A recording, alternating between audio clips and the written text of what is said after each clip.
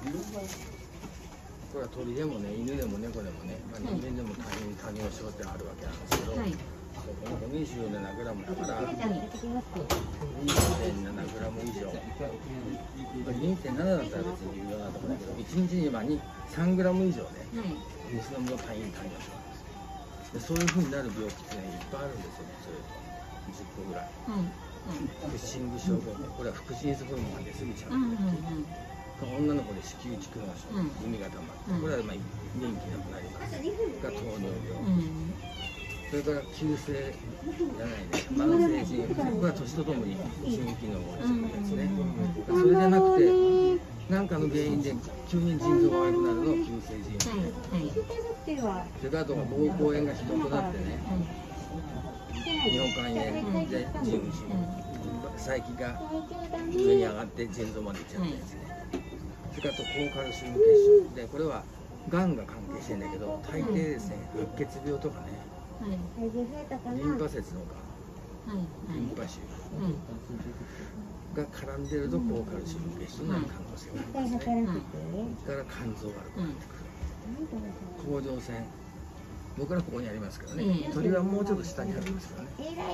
これの機能を更新し甲状腺ホルモンが出過ぎるこれはこのクシングの逆なんですけど不心室機能低下症、アディソン病ともいって不心室ホルモンが変くなる最後が脳から抗利尿ホルモンが出てるでそのその抗利尿ホルモンが出んくなっちゃうと水分の再吸収がなくなっちゃうからそのまま水がどんどん出ちゃう。これが一番飲みます。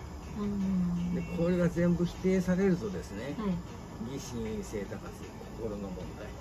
なんか心の心の問題だけどね鳥さんはねこれねはい。分類できません。はいはい。ワンちゃん猫ちゃんクラスの採血したりしてねうん。調べることできる。鳥はできません、はい。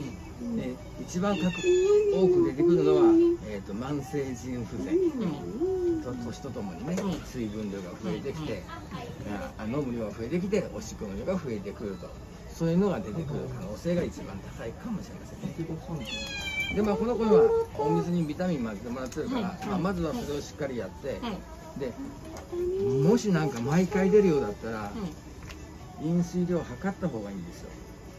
でこれこれ難しい。んですよそう。でね要するにね食器がこの子の水入れが2ついるわけ。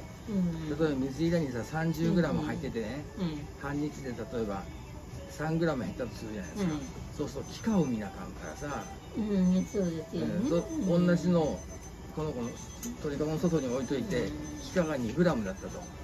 そうすると賞味飲んだのは 1g だと。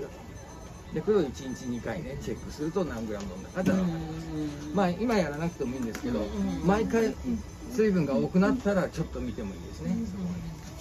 ということで、水分の中にもね食べたものがもう一緒に入っちゃったりするすること入ってたりすることがあるでこういうとこ来るとと道中は興奮するからええ水分が多くなることは確かに多いんですよね。はいはいはい、じゃあまあそういうことでまた観察しながらねお願いいたします。はい、ありがとうございます。